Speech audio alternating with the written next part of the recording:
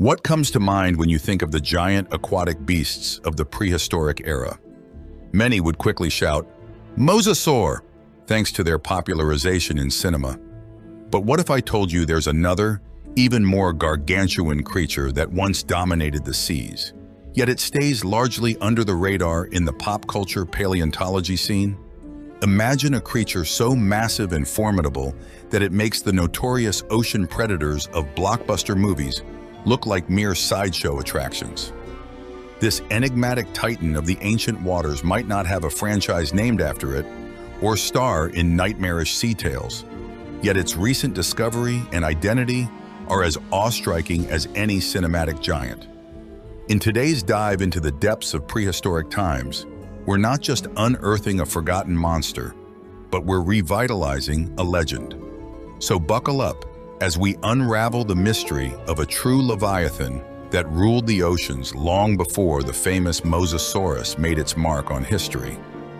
Nestled in the Westbury Mudstone Formation in northern England, paleontologists found two surangular bones from the jaw of an animal in 2016. The bones measured 96 centimeters, or just over three feet long, suggesting an animal of sizable proportions. Further studies hinted at the animal being a Shastasaurid, a family of organisms that represents giant ichthyosaurs, this particular one from the late Triassic period. Another fragment was discovered a few years later, in 2020, by an 11-year-old girl who was fossil hunting with her dad. This helped paint a more complete picture of the animal, showing that the entire lower jaw would have measured approximately 2 meters or 6.6 feet in length. While this is already an impressive set of jaws, histological studies of the samples suggest that the bones were still growing and the two-meter gnashers belonged to a juvenile or subadult. Because the sample was found near the River Severn and it belonged to a giant ichthyosaur, the single species Ichthyotitan severnensis was created, the titan of the Severn. To better understand Ichthyotitan severnensis, imagine a creature with the ferocity and aquatic agility of an orca. The size and mass just shy of a blue whale, combined with a crocodile's menacing jaws and razor-sharp teeth.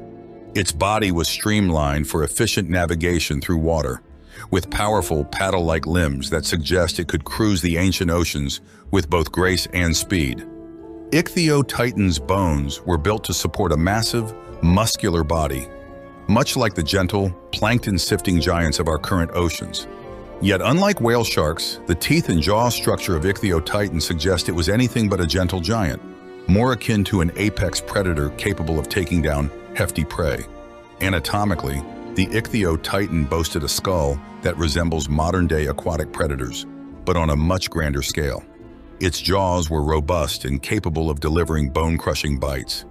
The similarity in skull structure and teeth arrangement draws a parallel with creatures like the sperm whale, known for their deep-sea hunting capabilities.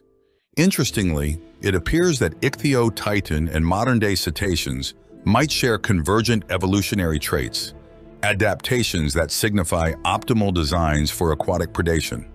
The discovery of Ichthyotitan severnensis not only expanded our understanding of marine reptile diversity, but also highlighted the evolutionary craftsmanship that nature has finessed over millions of years. These ancient titans of the sea while distinct, share numerous attributes with creatures from both their time and ours. If you're enjoying learning about Ichthyotitan and the incredible marine life it competed with, please consider giving this video a like. Your support helps us continue exploring fascinating prehistoric worlds. And if you want to dive even deeper into the wonders of ancient life, hit that subscribe button and continue to join us for more exciting content on the mysteries of the past. Now, venturing into the ancient oceans, Imagine the scene 200 million years ago beneath sea levels of the late Triassic period. You are plunged under the surface into the deep blue of this prehistoric ocean where nightmares await. With nothing above, below, or around you, you look around frantically as you sense something approaching. Out of the darkness approaches a 17-meter shadow, the largest mosasaur specimen ever discovered. While you might feel like a tiny speck compared to this famous giant made popular in Jurassic World, its size was no match for Ichthyotitan. Formal estimates that compare the discovered jaw bones to that of Besanosaurus, another ichthyosaur, place the Ichthyotitan at a staggering 25 meters or 82 feet, rivaling the modern blue whale in size. Informal estimates from bones that are only speculated to be from Ichthyotitan stretch the estimate even longer at 35 meters of 115 feet. This feature alone set Ichthyotitan apart from most known marine reptiles, including the ferocious Mosasaurus, which was previously thought to hold the title for the largest marine reptile with lengths just over half of our giant. So what did this Leviathan eat? Given its size and anatomy, Ichthyotitan severnensis was undeniably a predatory force. It primarily feasted on fish and likely any animal it could overpower. This has been taken as evidence for the richness of marine food webs throughout the Triassic, believed to be built upon newly evolved forms of plankton, and would show that Shastasaurids were flourishing until their disappearance in the end Triassic extinction. Their ecology made their remains vulnerable to scavengers, with one of the fossils showing signs of scavenging before burial, explaining the scarcity of known fossils. Equipped with strong, sharp teeth and a jaw designed to exert considerable biting power, it fits the profile of a formidable predator. What's notable is that while direct evidence from fossil records about its feeding strategies is scarce, it's pretty clear that having such dominant features, Ichthyotitan would have used ambush tactics, propelled by a quick burst of speed to capture prey. Older studies have suggested that Shastasaurids were suction feeders, but current research indicates that the jaws of Shastasaurid ichthyosaurs do not fit the suction feeding profile.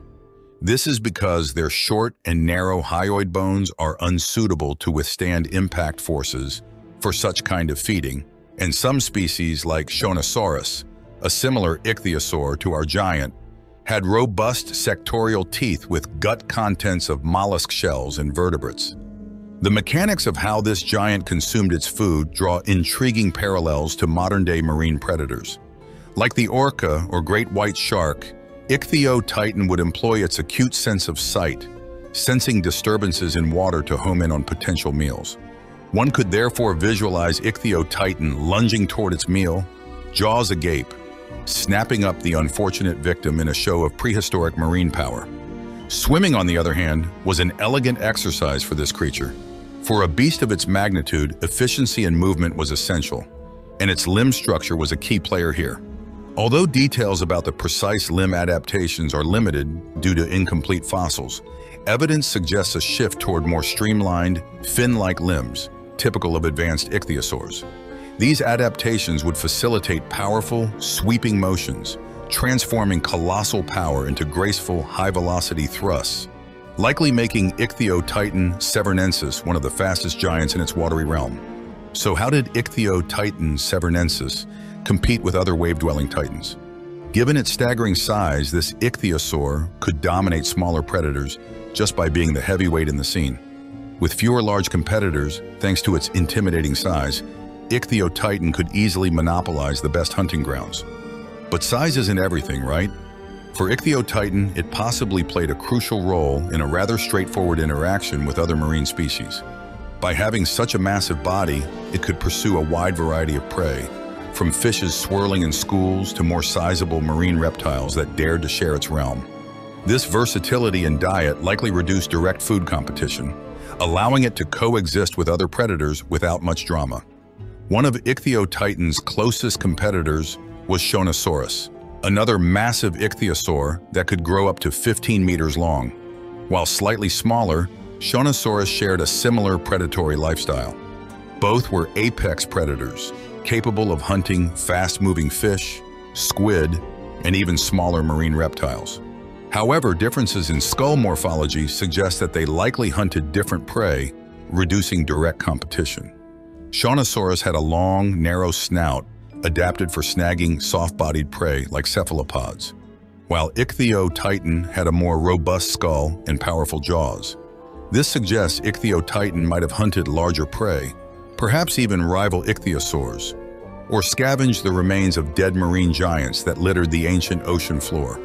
These ecological differences likely allowed both to coexist in the same waters, but the competition for resources was fierce. As seas became more crowded with life, both predators would have had to patrol vast territories to find enough food to sustain their massive bodies.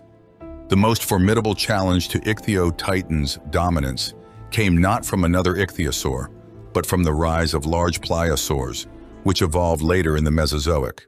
Though Ichthyotitan predates them, the evolutionary arms race between large ichthyosaurs and pliosaurs was beginning to take shape. By the time pliosaurs arrived, ichthyosaurs were already feeling the pressure from new and more aggressive marine reptiles, leading to eventual changes in ichthyosaur evolution. The marine ecosystem was a constant battleground, where food was abundant but competition was relentless. These ancient seas were dynamic, filled with creatures striving to carve out their niche in an ever-changing environment. One of these marvelous adaptations was that Ichthyotitan is theorized, like other ichthyosaurs, to be giving birth to live young. This live birth method was quite the evolutionary ticket for thriving in the oceanic expanses, sidestepping the risks of laying eggs in unpredictable marine environments. Plus, considering their size at birth, these youngsters weren't just born, they splashed onto the marine scene ready to tackle the oceanic challenges.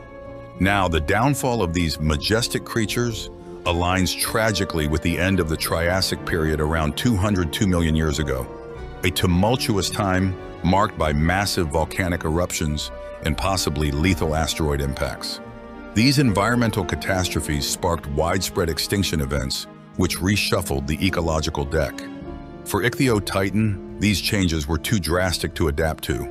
Altered marine habitats and food sources, coupled with increasing competition from emerging species, likely sealed their fate.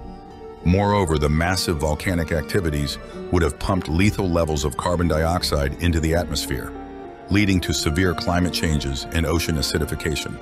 Such hostile conditions could incapacitate the marine food web, starting from plankton up to apex predators like Ichthyotitan. Once the primary food sources declined or shifted in distribution due to altered temperatures and sea levels, even giants like Ichthyotitan found the buffet running short.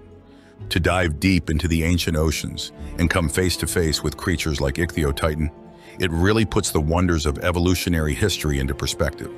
So, if you enjoyed plunging into the past with us and want to keep riding this prehistoric wave, go ahead, hit that like button, and subscribe for more deep dives into Earth's incredible history. Thanks for watching, and we'll catch you in the next video.